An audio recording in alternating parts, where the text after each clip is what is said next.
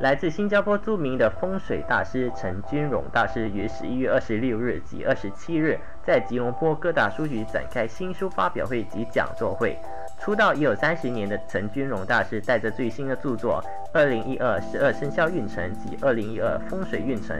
首次进军大马市场。这两本书将带给大家个人的生肖运程解析，了解龙年每月运程、吉利颜色、贵人生肖、贴心忠告、生肖运程排名，还有以深入浅出的方式，让你了解龙年住宅的风水运势。轻松的步骤教你改善家具风水，以及包含了龙年国际预测及办公室风水的贴士，让大家掌握先机，度过运盛时旺的一年。呃，这本书这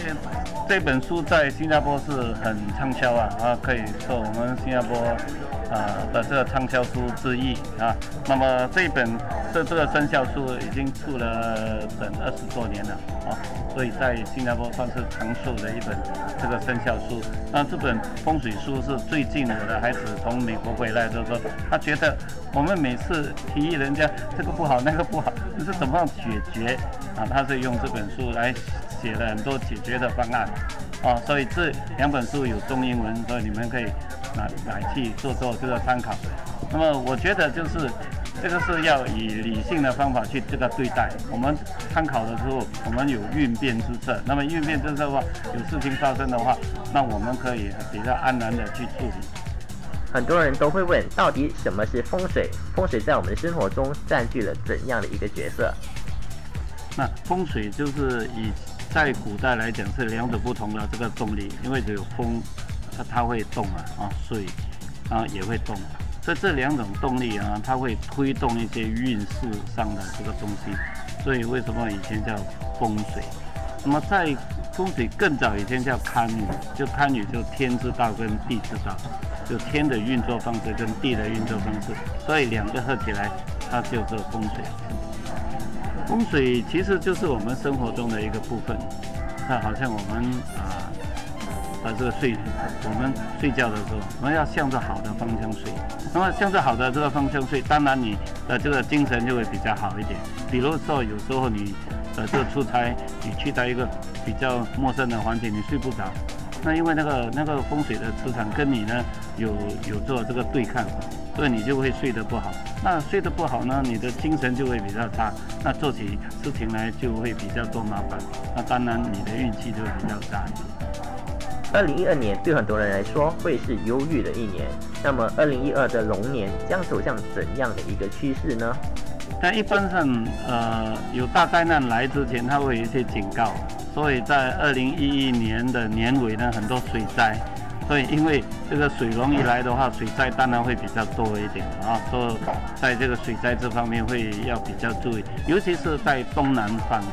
这个啊，这个东南方，澳洲啊，还有这个在这南美洲啊，啊，明年的啊这个运气会稍微比较没有这么好。那么在这个北边的话，有二黑星啊，所以就一般上会比较多病一点。所以，假如你的家是在北边或者是在这个东南边的话，那运势上要稍微比较这个注意。那么，二零一二年又是六白星的年，就是领袖之星，所以很多时候呢，就对抗性的东西比较多一点，可能会有政治啊这个更换。所以，美国啊、苏联啊、日本啊，都可能会面临着政治上的一些变动。所以。龙年其实是一个好年，可是因为变动太多，所以呢，二零一二年变成一个不可预测之年，所以你不知道会发生什么事情。所以以我的这个看法的话，以不动自动，就是什么东西我们看开一点，那冷静一点，那么以不变应万变啊，那对你的帮忙会比较好一点。二零一二龙年十二生肖的运程当中，属猪的运势榜上排名第一，而运势最弱的生肖则是属龙的朋友。我们一起来听听陈君荣大师解说。那属猪的朋友是最好的，因为龙得紫微星啊，啊，那很多时候做什么东西呢？有有好运来的时候，那帮忙你的就会比较好一点。那我有说过了，那属猪的朋友他有报拜星啊，所以当你做。当你好运的时候，你得到很多的话，你要当然要做一些善事，那会比较好一点，而且要修养，啊，要帮人，那我觉得会比较好一点。那么龙跟狗呢是对冲就对星，所以龙跟狗这两个生肖都不是那么好，所以一定要比较稍微比较注意一下。那好像说你要做呃比较重要的东西，比如结婚啊这些，那尽量就对了啊。古人说有一喜破三灾了，很多人都是选在坏年结婚冲冲喜。其实我劝你最好是不要，就不然会有很多不可预测的东西会发生。二零一二年家具住宅风水到底有哪一些需要注意的呢？明年的呃